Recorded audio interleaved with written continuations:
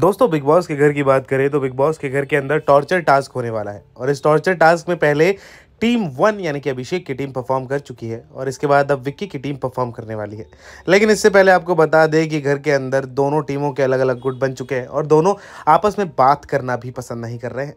अब यहाँ पर दोस्तों जो गुट बना है इस दौरान ईशा जो है, वो अभी भी अभिषेक को पोक करती नज़र आ रही है। जी हाँ दोस्तों, जहाँ पर ईशा को अभिषेक पहले ये बात कह चुके हैं कि गेट ओवर मी लेकिन इसके बावजूद भी वो उनसे गेट ओवर नहीं हो पा रही है और अभिषेक को बार बार आते जाते पोक कर रही है और उनको इस तरीके से पोक कर रही है कि उनकी चीज़ें छुपा दे रही है या फिर कोई भी चीज़ जैसा कि वैक्सिंग स्ट्रिप्स थी और कई चीज़ें थी जो कि उनके चेहरे पर लगाई थी। और अभिषेक ने भी कहा था कि जब आपकी बारी आएगी तो हम भी देखेंगे कि आप कैसे रिएक्ट करते हैं। तो यहाँ पर ये चीज़ें कहकर ईशा उन्हें बार बार पोक कर रही है और टारगेट कर रही है। उनके चेहरे पर वैक्स करके मिर्ची तकात लगा दी गई थी, लेकिन अभिषेक ने टास्क में अच्छा परफॉर्म किया।